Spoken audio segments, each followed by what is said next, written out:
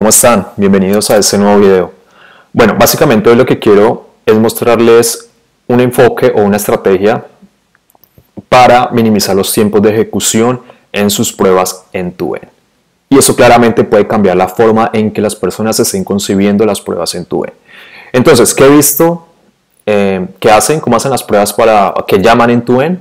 Básicamente las pruebas consisten en inicializar la aplicación, claramente iniciarla o probar contra la aplicación que ya está arriba y dar clic en el botón.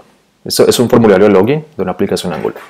Y básicamente utilizan Selenium para validar que este label aparezca o que este label aparezca. Y otra prueba para, no sé, para validar otro tipo de cosa, que eso tenga el color tal y así sucesivamente. Y eso lo hacen con muchos formularios. ¿Qué pasa? Claramente esto dependiendo del, del ¿cómo sería eso? Como el enfoque del negocio puede ser importante o no, pero ahí es donde toca como comenzar a balancear las cosas. Para mí, esto es mucho esfuerzo, digamos, crear, inicializar un browser, levantarlo, el tiempo que toma, para solamente ver, hey, aparece una etiqueta, listo, muy bien, test pass. Primero que todo, no es una prueba en tu end, listo. Y segundo, toma mucho tiempo en ejecutarla. Tercero, si realmente nos está dando valor el tiempo que una persona está invirtiendo en escribir la prueba y más aún el tiempo que toma ejecutar, porque a veces son cientos de pruebas que hacen este tipo de validaciones muy pequeñas y toma horas. Para al final decir, uy, este label no apareció. Realmente si piensen si realmente todo ese esfuerzo que se hizo para validar que un, label apareció o no, eh, realmente sí vale la pena o realmente vale la pena encontrar con los test automatizados realmente un bug en el flujo de negocio que realmente afecte nuestra compañía y realmente tenga un impacto grande, yo me más por esa parte. Entonces, les voy a compartir aquí una estrategia que estuve viendo eh, con una aplicación Angular, pero yo creo que esto puede existir para cualquier framework web.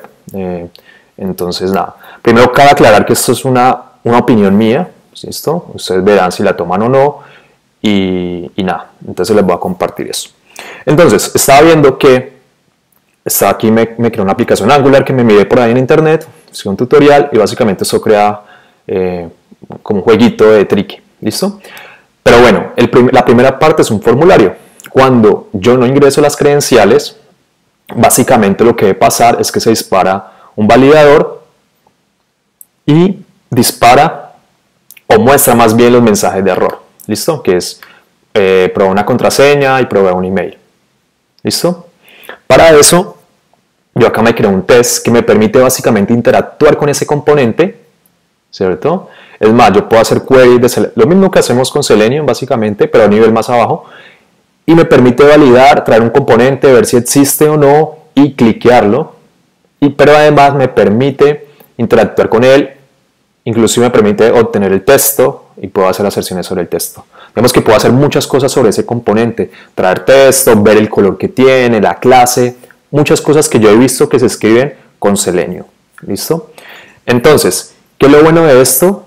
Que si yo hago esos tests a este nivel, miren los tiempos de ejecución, son, mejor dicho, tiempos muy bajos de ejecución, comparados, claramente yo hice la prueba con Selenium y solamente para ese test fueron 7 segundos. ¿Listo? Para este fueron menos de un segundo. Además, miren esto a grande escala. Digamos que tienen cientos que se encargan cada uno de validar un label, un botón, lo que sea. Y eso toma horas, solamente horas para saber que no apareció un label.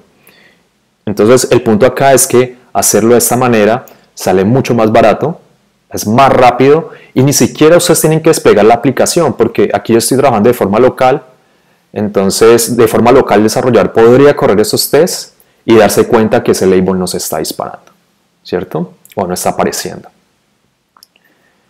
Acá tendrían, casi siempre cuando se corren esos tests, cuando lo hacemos a un nivel más alto, tenemos que esperar que se haya pasado por un montón de procesos para poder desplegar, para cuando finalmente ejecutemos, que se muere una hora la ejecución, veamos que no existe un label y decir, ah, fue pucha, no existe ese label. pero realmente vale toda la pena el esfuerzo que invertimos para darnos cuenta que no existe un label, todo el esfuerzo invertido? Eh, yo creo que no.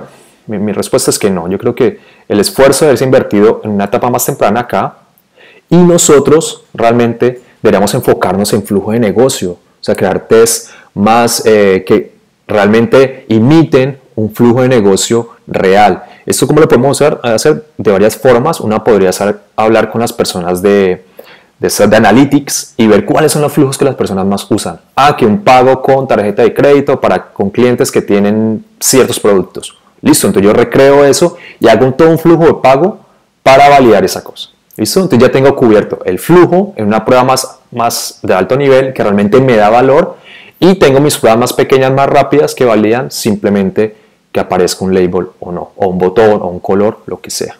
¿Listo? Entonces, yo, yo diría que es algo así, eh, lo enfocaría de esta manera.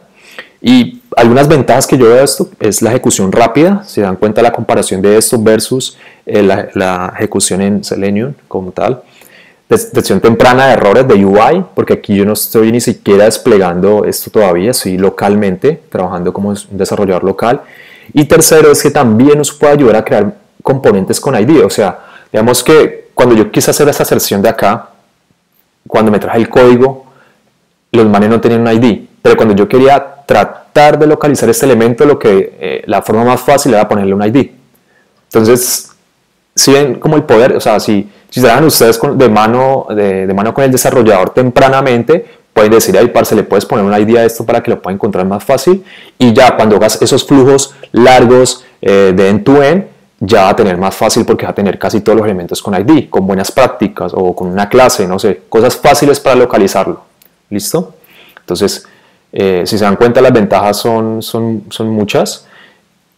Y algo que de pronto sí vi, eh, leyendo un poco, es que a veces esos tests no se ejecutan en un browser eh, tan real como sería Chrome o, Firefox, o no cuentan con todas las capabilities que tienen esos browsers, pero hagan el balance, hagan el balance y piensen si, si están dispuestos a arriesgar un poco para ganar mucho. ¿Listo? Entonces, ese es uno de los puntos. Y lo otro es que acá pueden ver una librería que está viendo también, que se llama Spectator, que también permite hacer eso, básicamente jugar más fácil con los elementos, eh, por ejemplo acá que escriba que tenga una clase, ¿sí?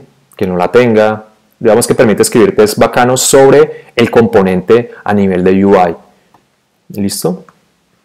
Entonces, básicamente esa es la estrategia que les quería mostrar, mover un poco los llamados o mal llamados end-to-end test cases que validan etiquetas, moverlos a, a una parte más, más, más abajo, de más bajo nivel, usando para ello pruebas unitarias a nivel de componente UI, en este caso pues para una aplicación Angular, pero lo que les digo, pueden hablar con sus desarrolladores dependiendo del framework que usen y dejar para pruebas en tu end donde levanten un browser que es bastante eh, pesado y toma mucho tiempo para pruebas realmente importantes. ¿Listo?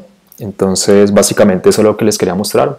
Eh, si les gustó este video, por favor no olviden darle like, eh, al canal y claramente si tienen algún comentario con respecto a eso, si no están de acuerdo, también válido. Eh, si están de acuerdo, pues también chévere.